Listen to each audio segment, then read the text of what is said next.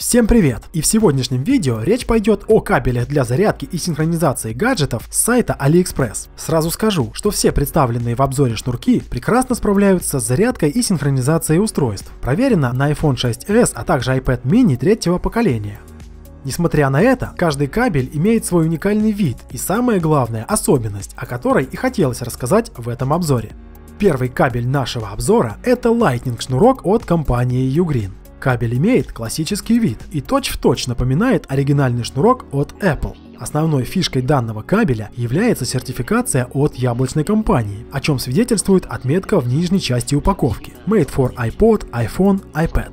Доверяй, но проверяй, как говорится. Для проверки заходим на соответствующую страницу сайта Apple, вбиваем название бренда, модель или штрих-код кабеля и видим, что Apple подтверждает подлинность сертификации товара. Стоимость такого кабеля на странице продавца находится в районе 450 рублей, в зависимости от выбранной длины шнурка. Дороговато, как для товара из Китая, скажете вы. И да, и нет. Все же сертификат дает нам некую, хоть и теоретическую, но уверенность, что мы не покупаем кота в мешке. Для примера, стоимость оригинального кабеля от Apple составляет 1800 рублей за 50-сантиметровую и метровую версии. Следующий кабель от бренда Mantis может похвастаться одной очень интересной функцией. Прежде всего, кабель имеет нейлоновую оплетку, что повышает прочность и общую износостойкость шнура. Также внешняя оболочка разъемов имеет металлическое покрытие, что также намекает на некую дополнительную защищенность. Но главной фишкой кабеля является магнитная часть Lightning разъема. Работает это так. Берем отделяющуюся часть с контактами и вставляем ее в iPhone. Теперь просто подносим шнурок любой стороной к разъему и бум, все само соединилось и заработало. Такая схема позволяет защитить смартфон при случайном рывке шнура. Кабель в этом случае просто отмагнитится от смартфона и не потянет его за собой.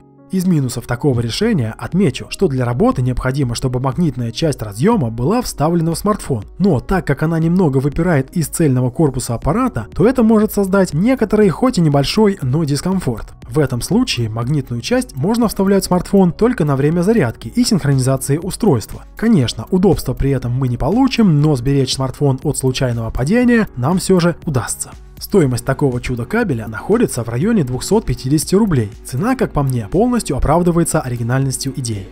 Ну и последний кабель нашего обзора – это шнурок для синхронизации и зарядки от компании Orico. Кабель имеет плоскую форму и оснащается необычным USB разъемом открытого типа. Основная идея шнурка состоит в универсальности, не идущей в разрез с удобством. Так, кабель благодаря встроенному Lightning разъему совместим не только с iOS устройствами, но также может работать и с устройствами под управлением Android, так как на борту имеется также и micro-USB разъем.